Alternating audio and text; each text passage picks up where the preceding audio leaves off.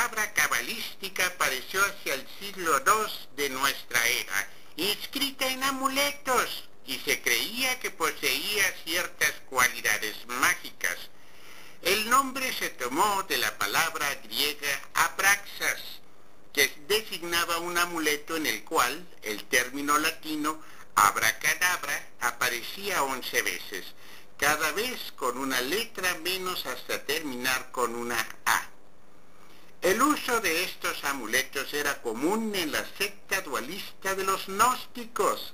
Creían en un dios y un demonio igualmente poderosos, que pensaban que la salvación podía ser obtenida mediante el conocimiento esotérico al que llamaban gnosis.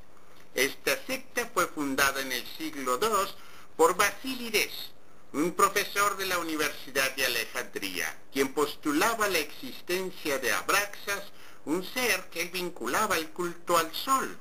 A las siete letras griegas de Abraxas se le atribuían números cuya suma arrojaba un total de 365, la cantidad de días que la Tierra tarda en recorrer su órbita. Esta etimología de abracadabra es la que suscribe la Real Academia Española en su diccionario.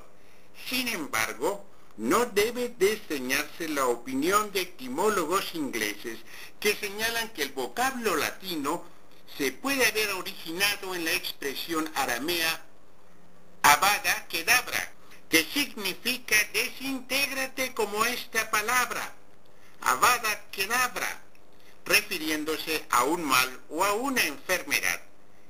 Gracias por su atención, amables internautas. Se despide de ustedes su amigo Justiniano.